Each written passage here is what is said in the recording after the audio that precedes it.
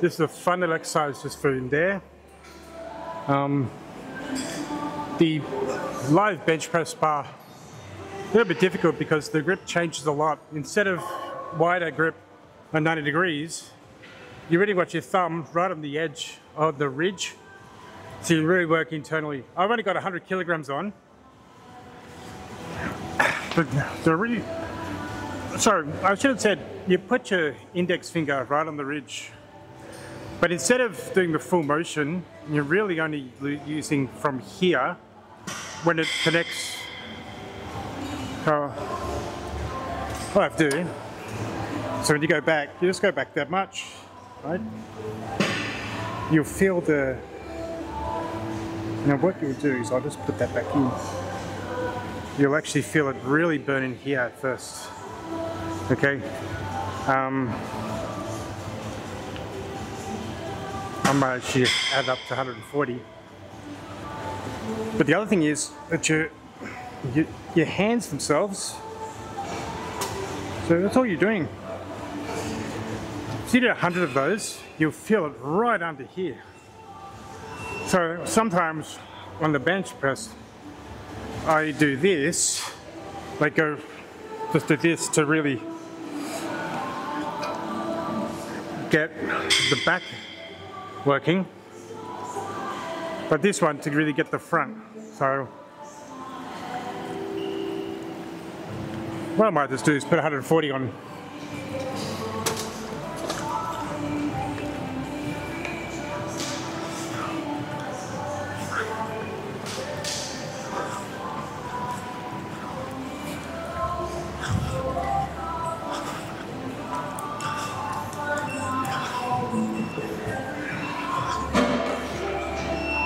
That'll really make me feel the burn.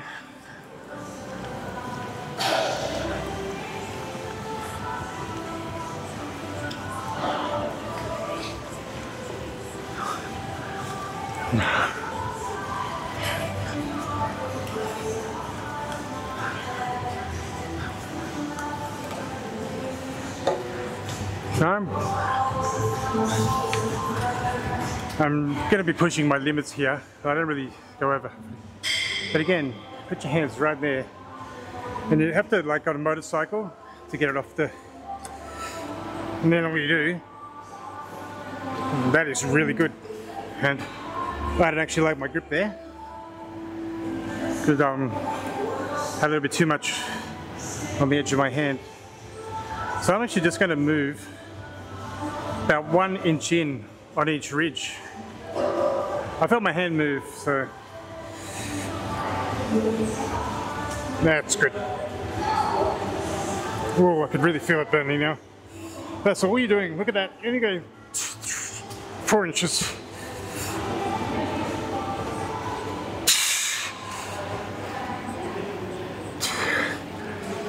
Um, and you really feel it burning in there, which I need.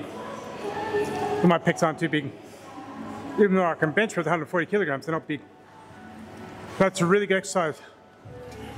Give that a go and uh, see how it goes.